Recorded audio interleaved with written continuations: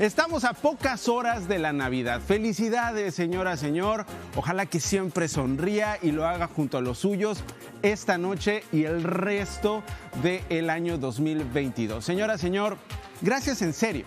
Gracias por elegir hoy día en este 2021.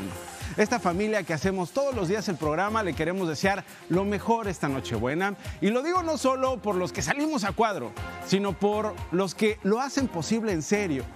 Detrás de las cámaras, nuestra productora comandando a nuestros productores, escritores, editores, reporteros nacionales, pero también de estaciones locales. A nombre de ellos, pásela chévere. Dicen también todos los encargados, mis hermanas y hermanos del staff, ¿qué, qué le puedo decir? De ellos. Me han tratado como uno de los suyos, aunque no sé si eso es bueno, Frank. ¿Eso es bueno o, no?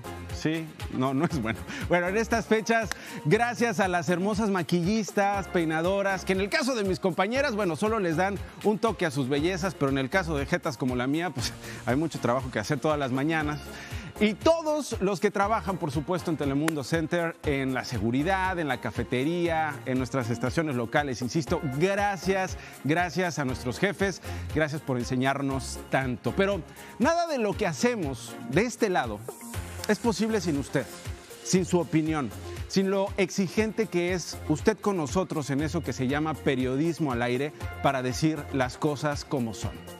Gracias por elegirnos. Hemos crecido muchísimo en este 2021 y fue por su voto de confianza, por su reclamo para que hagamos nuestro trabajo como tenemos que hacerlo, para traer las voces diversas, por ejemplo, de nuestros migrantes, las imágenes de las injusticias, de la desigualdad, de la pobreza, aquí y en nuestros países, con nuestros paisanos.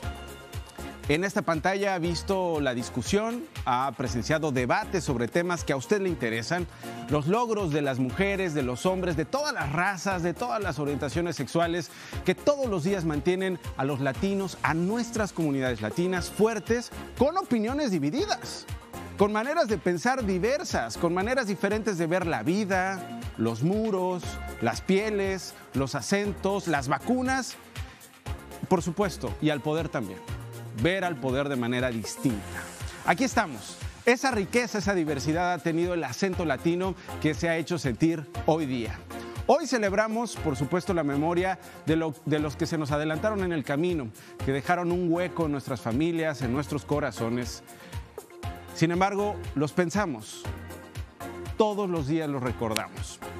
Y aquí estamos, hemos aprendido a golpe de infecciones, a golpe de muertes, que otros pues, simple y sencillamente eh, pues sufren todos los días. Eh, a golpes también de vacunas, ¿no? las vacunas que nos han dado la defensa para enfrentar este virus que ya nos tiene hasta el 10 de mayo porque en México el 10 de mayo se celebra el Día de las Madres, entonces ya nos tiene hasta el 10 de mayo y que ojalá pronto acabe.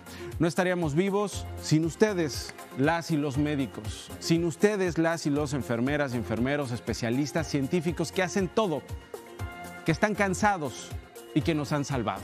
Salud por ustedes. Falta poco, falta poco y la salud significa mucho. Lo demás va y viene. La sonrisa de estar sanos esa hay que atesorarla y celebrarla esta noche. O dígame, usted que nos ve todas las mañanas, ¿qué opina?